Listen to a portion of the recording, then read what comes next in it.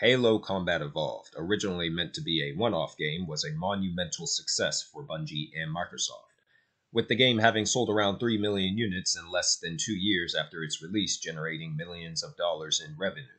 With the success of the first game, Bungie began work on Halo 2, which was released three years after Combat Evolved in 2004, just in time for the holiday season. And it was around this time that I received and played the game for the first time on the original Xbox.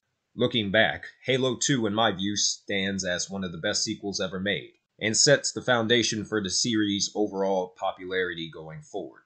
With numerous improvements implemented, and even stronger story written that improves over the first game with a more engaging multiplayer component, that made its way into the professional gaming scene, including TV show appearances and a very robust soundtrack. Halo 2 is quite arguably the best game in the entire series. While I was already a fan of the first game, I didn't become a lifelong Halo fan until Halo 2. Similar to my retro on the first game, I will be addressing only the campaign, skipping commentary on the multiplayer component of the game. Halo 2 begins with a trial of an unknown Covenant elite commander who is blamed for failing to prevent the destruction of the Halo ring from the first game. This elite is stripped of his rank, branded a heretic, and tortured by Tartarus, a chieftain of the Brutes, a new alien race, a part of the Covenant not seen in the first game. The leadership of the Covenant, the three prophets, Truth, Mercy, and Regret, give this elite a chance at redemption by offering him the rank of Arbiter. This unique rank is given to elites at times of great crisis. The Arbiter is sent to quell a rebellion against the Covenant, being forced to kill the rebellion's leader who has descended from the Prophet's promises. The Arbiter later comes into contact with 343 Guilty Spark, the monitor from the first game. While the Arbiter is stripped of his rank, back on Earth, Master Chief and Avery Johnson are being commended for their efforts in destroying the Halo ring from the first game. Miranda Keyes, the daughter of Captain Jacob Keyes, who was killed by the Flood in the first game, accepts a Medal of Honor on the behalf of her late father. A fleet of Covenant ships led by the Prophet Regret appear on Earth, invading the African city of New Mombasa. Master Chief is sent to the city to stop the invasion. Regret's fleet is destroyed, but he escapes through a hyperjump in space. Keyes follows Regret to discover another Halo ring. Realizing the danger that comes with the installation, Keyes orders Master Chief to find and kill the Prophet Regret, while she and Johnson search for this Halo's activation index. Regret launches a distress call, and the Covenant ship known as High Charity, along with an entire Covenant fleet, arrive on the Halo ring. Master Chief manages to hunt down the Prophet Regret and kills him. The Covenant bombard his position, and Master Chief falls into a lake where he is dragged away by an unknown presence. The death of Regret causes disarray in the Covenant as the remaining two prophets give the Brutes the elite's traditional position as their honor guard. The Arbiter returns and takes the activation index from Johnson and Keyes, who are both captured. Tartarus appears and informs the Arbiter that the prophets have betrayed the elites, ordering their execution. After falling into a chasm, the Arbiter meets what the Covenant refers to as the Demon, or the Master Chief. Both characters find themselves in the clutches of the Flood through a creature known as the Grave Mind. The Grave Mind reveals that the Prophet's so called Great Journey is a lie. It sends both the Arbiter and Master Chief to different locations on a mission to stop Halo's activation. Master Chief is sent to the Covenant ship High Charity, where a civil war has sparked within the Covenant's ranks. The UNSC ship in amber clad from earlier in the game becomes infested with the flood.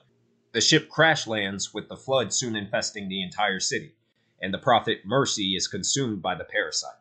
The last remaining prophet, Truth, sends Tartarus with Johnson and Keyes to activate the Halo ring. Master Chief follows Truth aboard a Forerunner ship, leaving Cortana aboard the High Charity to destroy the ship and Halo along with it if Tartarus is successful in activating the ring.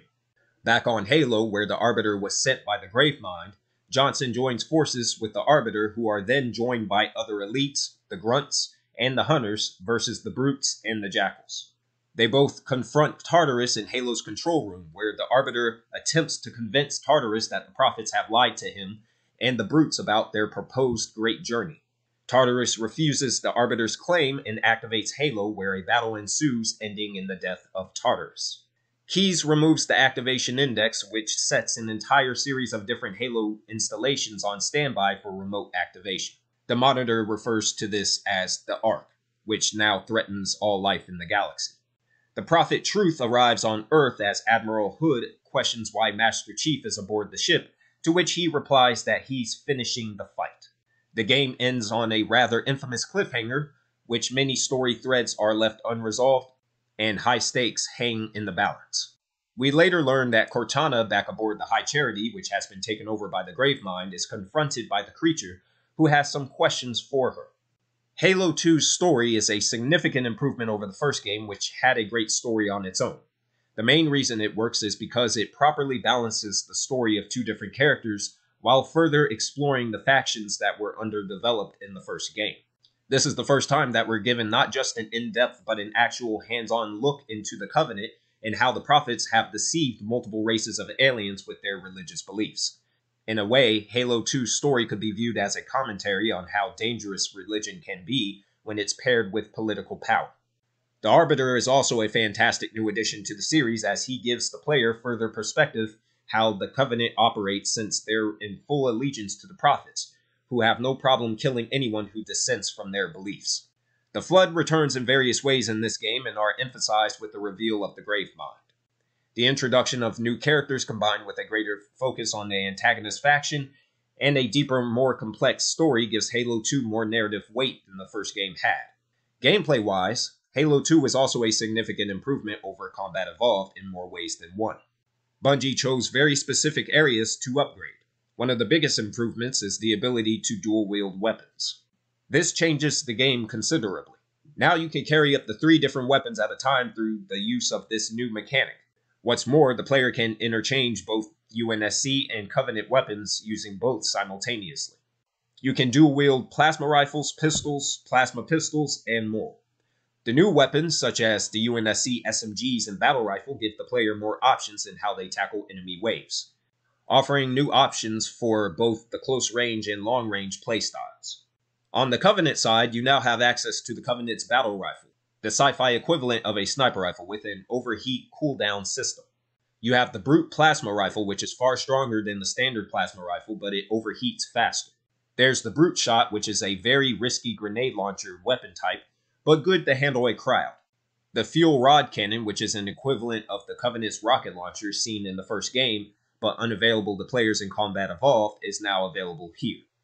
Another weapon seen in the first game but was unavailable for use is the Energy Sword, which changes the game considerably since it's purely a melee weapon.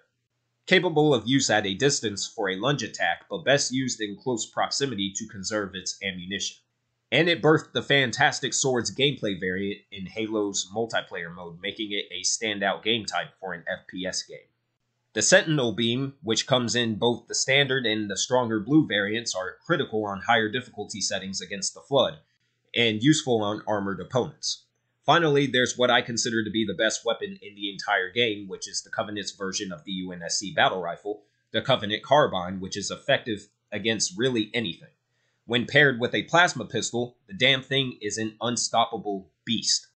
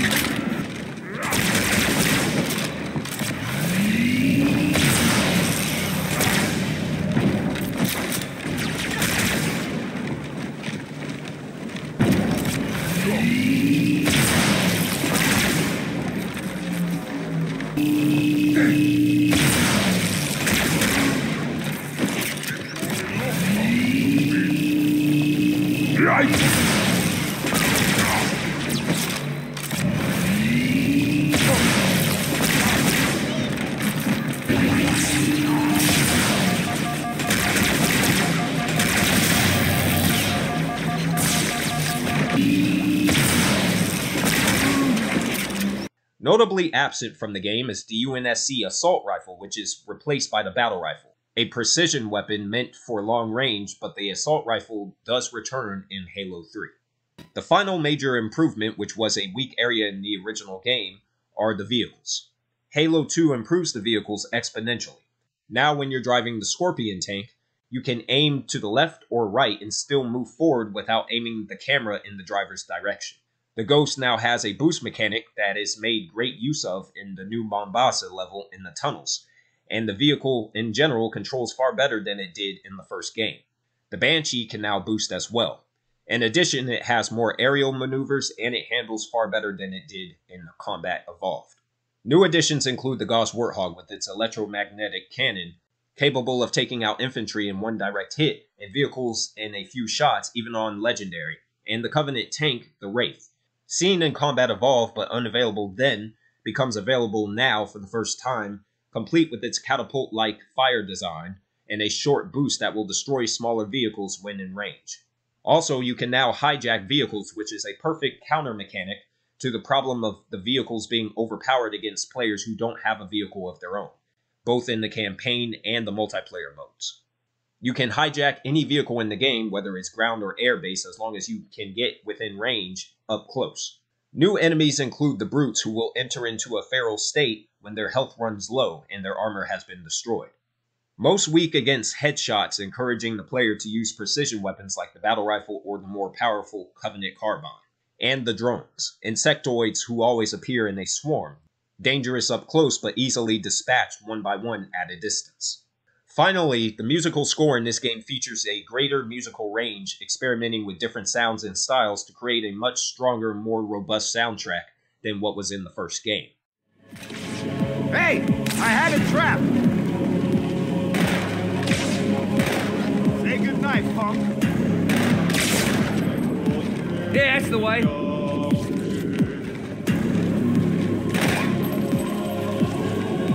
Well, let me know when I can start trying. Bloody fuck! Original gangster!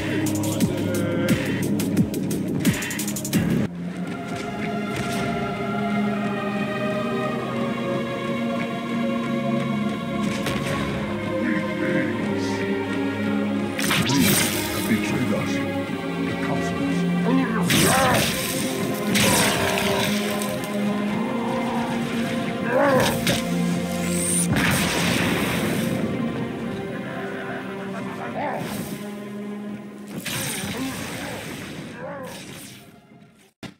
Anniversary version of the game oddly replaces the rock tracks that play in different key moments of the game that come from both Master Chief's and the Arbiter's gameplay sections.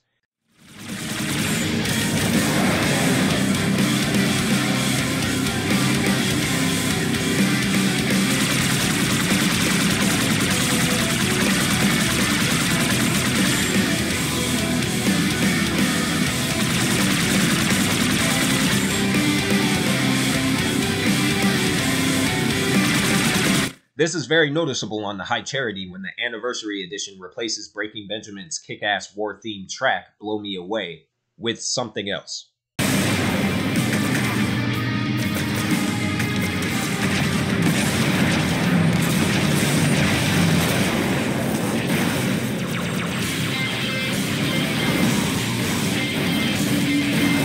The best track in the entire game, in my opinion, is the Mausoleum Suite, which complements the Flood. Played in the Arbiter's gameplay sections, but best experienced outside of the game entirely. Go on. I'll follow when our reinforcements arrive.